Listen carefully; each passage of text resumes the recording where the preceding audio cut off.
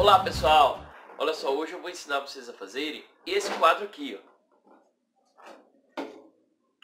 Olha só, é um quadro romântico, é uma árvore e um casal é, apaixonado embaixo da árvore. E vamos lá, vamos pro vídeo.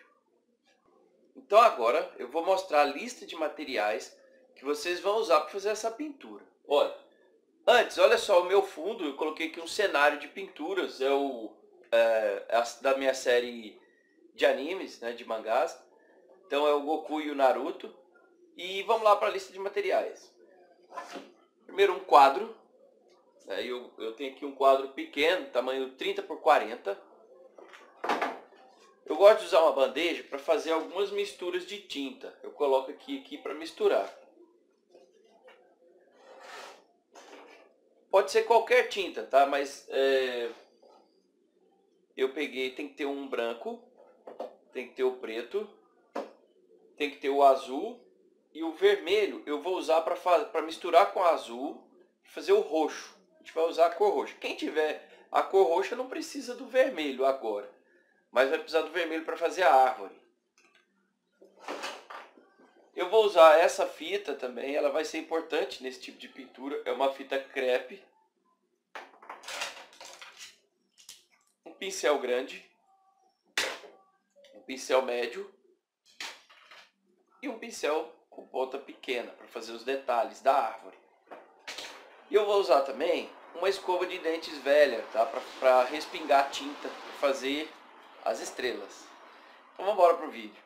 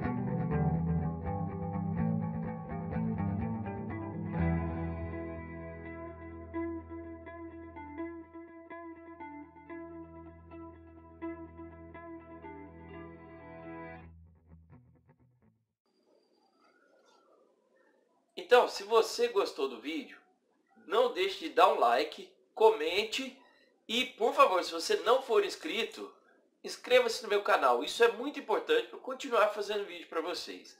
Vou mostrar aqui de novo o quadro. Ó, vou mostrar os detalhes bem de perto.